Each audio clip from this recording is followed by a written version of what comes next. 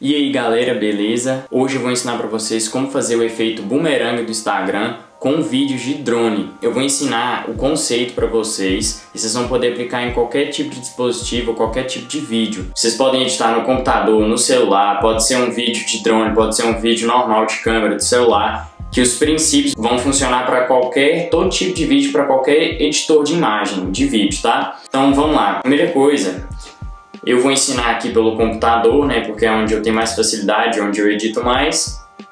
Primeira coisa, vocês vão abrir um projeto, né, seja em qualquer software, vocês vão abrir um projeto, eu já estou aqui com o meu projeto aberto, e vão escolher o take que vocês querem, o vídeo que vocês querem. Eu selecionei esse vídeo aqui, que é lá do campo de futebol, daqui de Unaí, que eu gravei esses dias com um drone.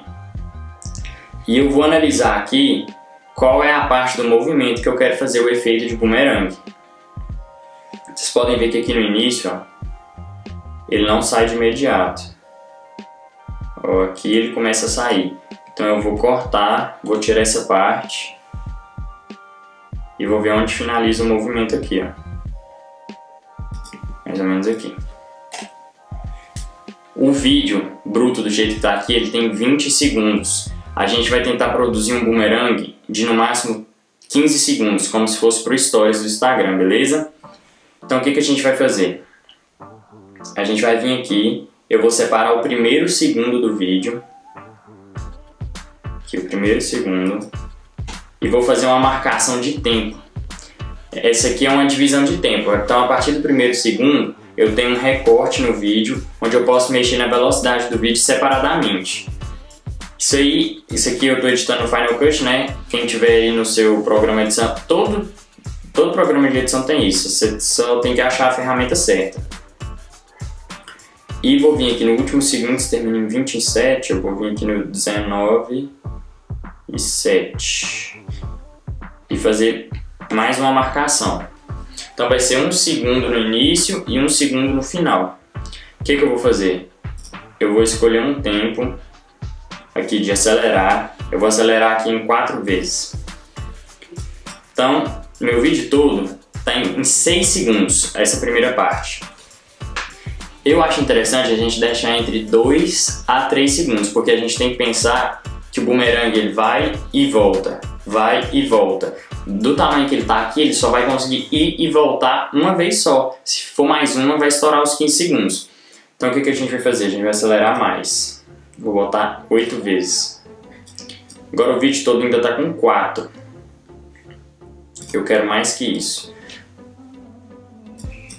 Que quero que fique menor. Então eu vou colocar aqui 1200 de velocidade. Aí, agora tenho 3 segundos nesse primeiro take. Eu vou mandar renderizar. Renderizou, agora eu vou assistir como que tá.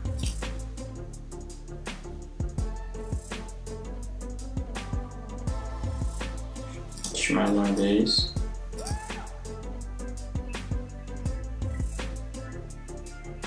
Beleza. Eu gostei, só que eu ainda vou acelerar mais um pouquinho.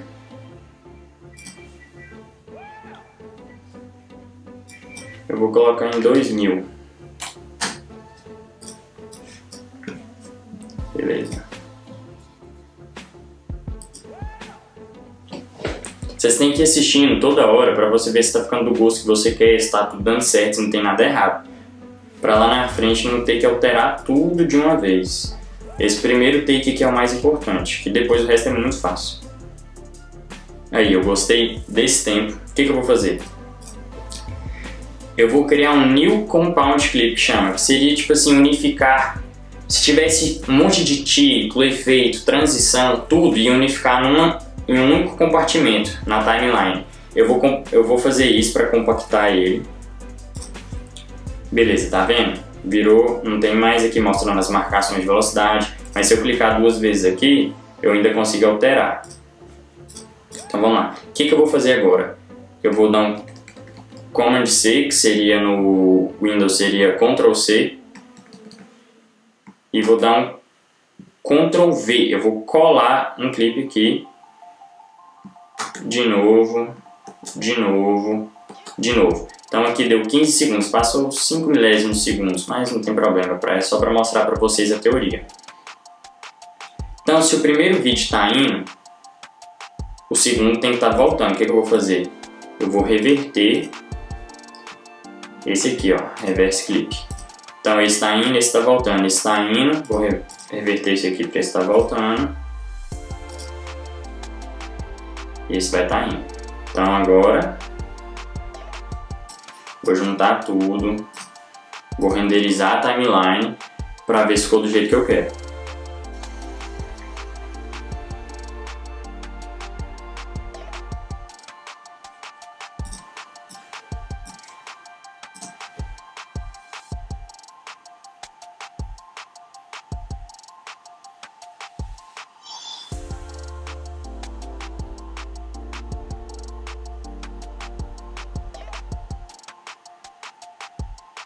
Aí, tá ótimo. Pro meu gosto tá ótimo. Tem como a gente fazer mais acelerado que isso, que ele consegue ir e voltar mais vezes, mas por aqui tá bom.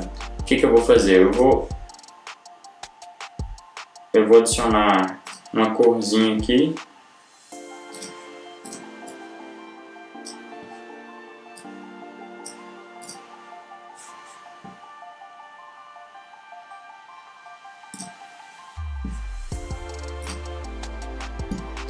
Vou jogar um loot.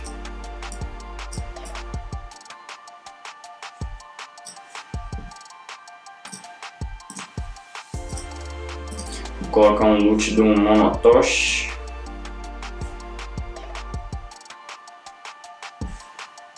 Diminuir aqui. Intensidade. Vou botar um contraste.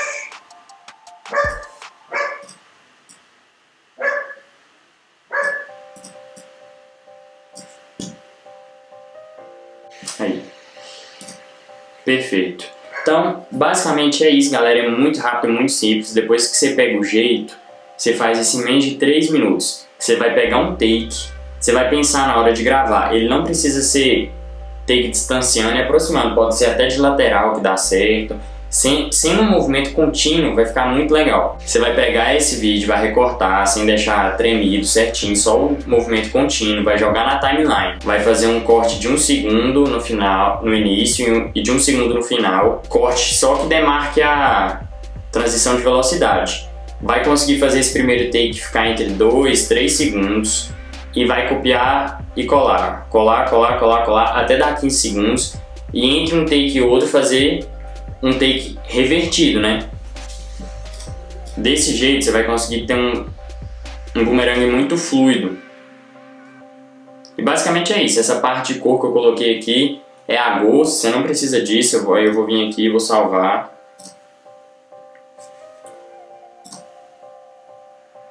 Tá aí o vídeo pronto, galera, pra vocês verem como que ficou. E é isso aí, se você, se você gostou dessa dica, desse tutorial, já deixa seu like aqui compartilha com alguém que você acha que vai gostar dessa dica, que tem drone ou que faz vídeo, ou até quem gosta só por hobby. E não se esquece de inscrever no canal, me ajuda a bater 500 inscritos. E logo mais eu vou trazer mais dicas como essa, beleza? Valeu!